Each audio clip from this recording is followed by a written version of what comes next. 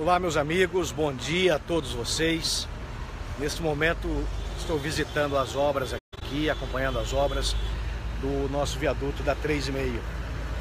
Ah, estou aqui na parte elevada já. Eu vou fazer uma filmagemzinha rápida para quem não, principalmente você que não passa com frequência por aqui, mas as obras estão aceleradas. Eu vou inverter aqui a, a câmera nesse momento para mostrar para vocês como é que está estou já na parte que vai encontrar com aquela parte do viaduto. Nós estamos aqui, aqui acompanhando. Então, estamos aqui com a câmera apontada para a rua 3,5. Os, os carros vão subir por essa rampa aqui, que vocês estão vendo. Vão fazer esse contorno. Eles sobem ali a partir daquela rampa. Fazem esse contorno aqui. Dizer, nós estamos, já estamos aqui em cima é, deste aterro.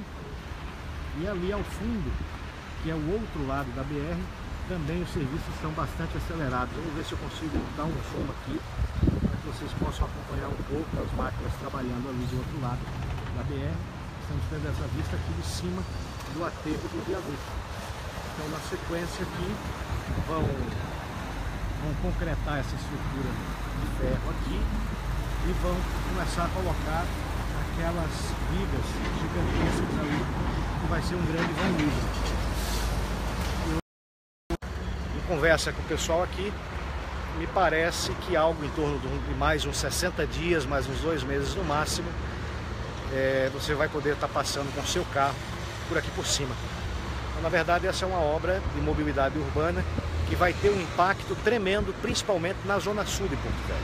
Quer dizer, o acesso à BR-364, que hoje é feito pela Campos Sales e pela, pela, pela própria pela Pau Ferro e pela Jatuarana, é, vai desobstruir. Nós, os ônibus vão ganhar alguns minutos nesse trajeto aqui, nesse novo trajeto. E por falar em mobilidade urbana, daqui a, daqui a alguns minutos, nós vamos participar de uma solenidade do lançamento do alargamento da rua Duque de Caxias, no trecho a partir da Jorge Teixeira em direção ao centro então a ideia é que aquela via, depois de alargada, se torne uma, uma via preferencial e que permita nós retirarmos os ônibus que hoje trafegam pela Carlos, pela Avenida Carlos Gomes e pela Pinheiro Machado. Então vai ser uma via preferencial, vão passar automóveis naturalmente e também os ônibus. Então vai ter uma semaforização especial, é, sincronizada, e isso também vai auxiliar muito a questão da nossa mobilidade e a melhoria do trânsito da nossa capital. Meus amigos, um grande abraço a todos vocês e nós voltaremos a nos comunicar aqui por este canal. Eu deixo aqui um grande abraço a todos vocês. Bom dia a todos.